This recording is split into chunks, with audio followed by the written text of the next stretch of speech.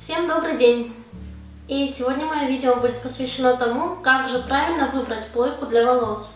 Это видео я решила сделать в преддверии 8 марта, так как на 8 марта многие э, выбирают подарки своим девушкам, подружкам, женщинам и так далее.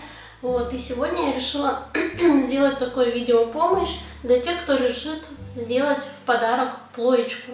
Сейчас э, разные магазины предлагают нам разные плойки, абсолютно разной направленности. Есть плойки с зажимами, вот такие, как у меня, вот, например, вот такая плойка, которую я заказывала на eBay. Есть плойки конусные, которые вот этого зажима не имеют. Есть э, плойки, которые вращаются. И есть целые наборы, которые сочетают в себе множество диаметров плоек. Так вот, для того, чтобы сделать правильный выбор, для начала вам нужно знать, э, какие у вас волосы и какого эффекта вы хотите добить, добиться с помощью плойки, если выбираете для себя. Если выбираете для кого-то другого, то нужно бы тоже, конечно, знать эти параметры, чтобы угодить человеку по максимуму. Ну, например, если у вас э, волосы длинные, тогда идеально подойдет э, для эффекта крупных локонов диаметр 38 миллиметров, можно даже побольше взять, либо вот такой диаметр, здесь, наверное, миллиметров 35 у меня идет.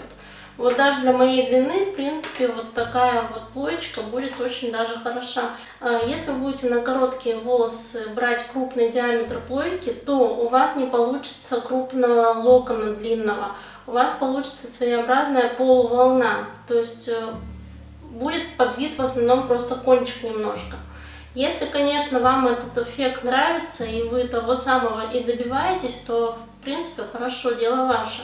Вот, но если вы хотите действительно, как эффект голливудских локонов, вот как сейчас модно делать, да, чтобы крупная прядь шла на длинные волосы, такого у вас не получится.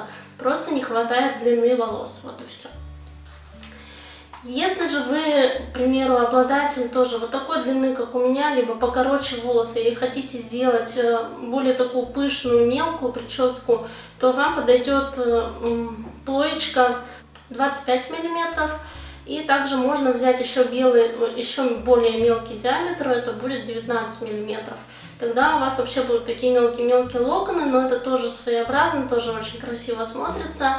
А, такой диаметр плойки как раз очень удобно использовать на длине, а, к примеру, до плеч волосы, либо чуть-чуть выше плеч. Далее, после того, как мы определились уже с диаметром, нам нужно знать, а, опять же, поврежденные волосы или не поврежденные у нас. То есть э, для поврежденных волос, конечно, лучше выбирать плойку, которая с керамическим покрытием идет, и также у которой есть регулировка температуры.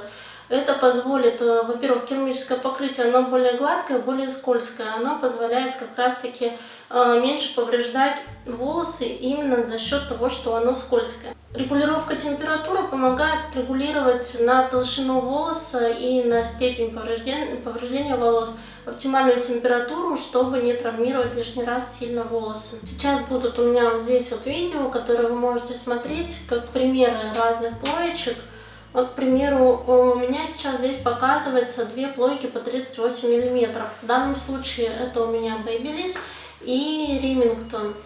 Могу сказать, что оба диаметром 38 миллиметров. Покрытие у обоих э, керамика идет, но если брать Babyliss, там более тонкое напыление керамики. Вот, но так как волосы, они в принципе мягкие, я не думаю, что они эту керамику как-то могут истереть. То же время у Ремингтона керамика более плотный слой имеет. Для того, чтобы вы понимали, керамика это просто керамическое покрытие плойки. Основание самой плойки идет просто металл. У Babyliss, если сравнивать с моделью Remington, которая рядом здесь показывается, вот этот зажим, он все-таки лучше будет и, соответственно, он лучше зажимает э, волосы, и прядь волос не выскальзывает из зажима. Что касаемо регулировки температуры, то у того и у другого прибора регулировка температуры имеется. У Ремингтона это просто колесико.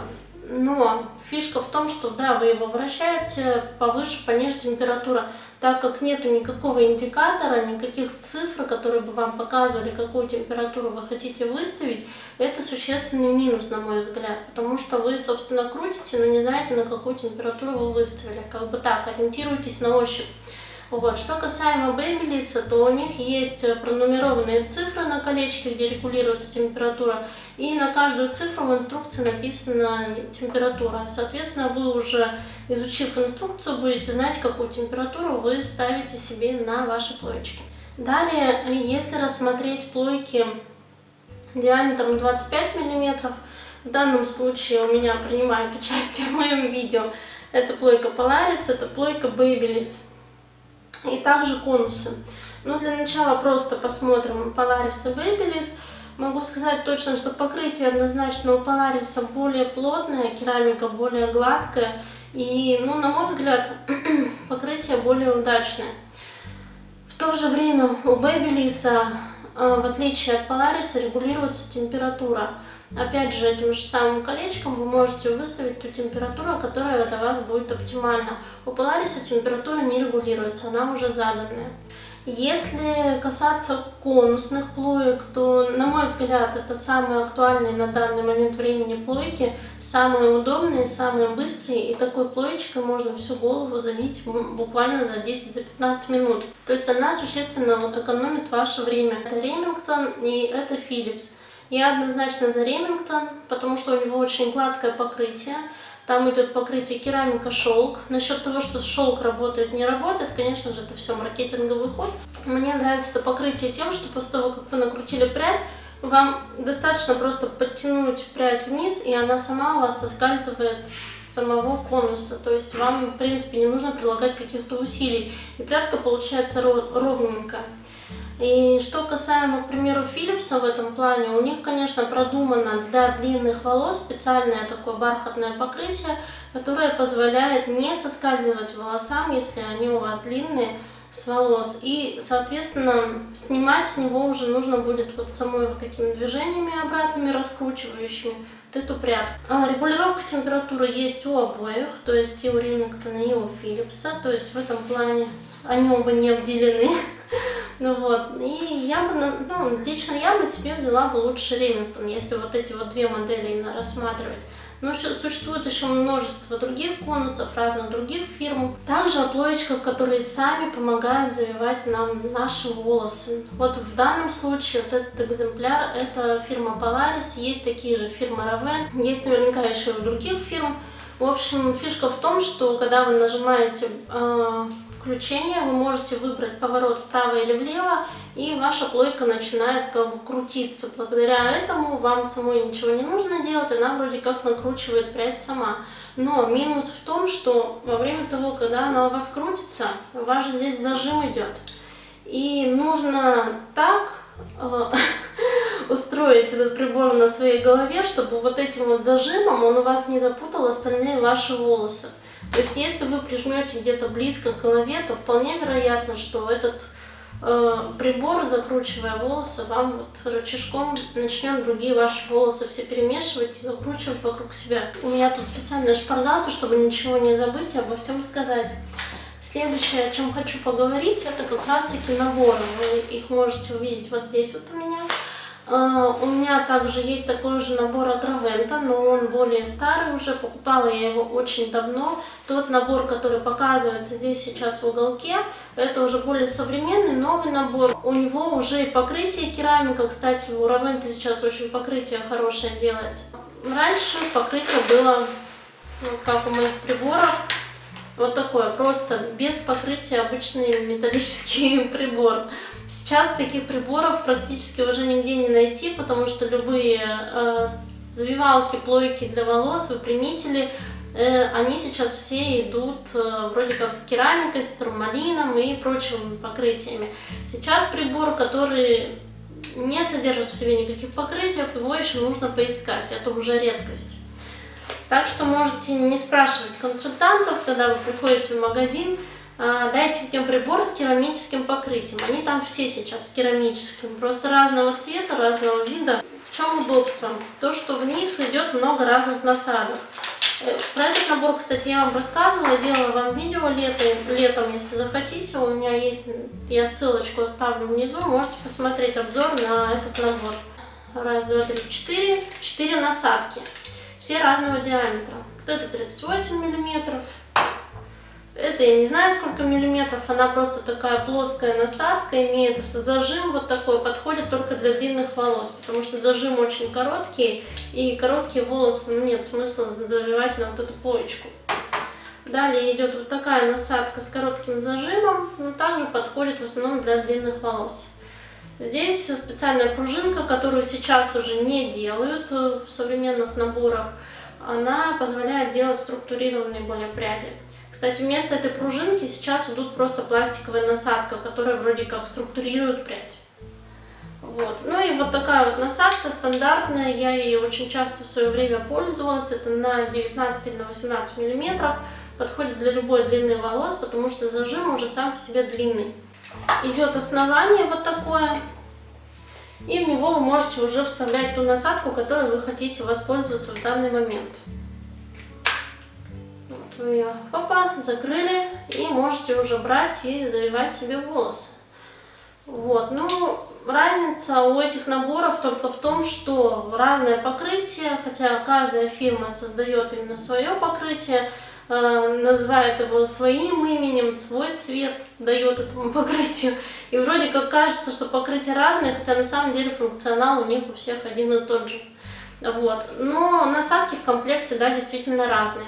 А, могу сказать, что в таких наборах, как правило, не меняется температура у самого прибора. К примеру, у меня на моей Равенте всего лишь один температурный режим. По-моему, он идет на 180 градусов.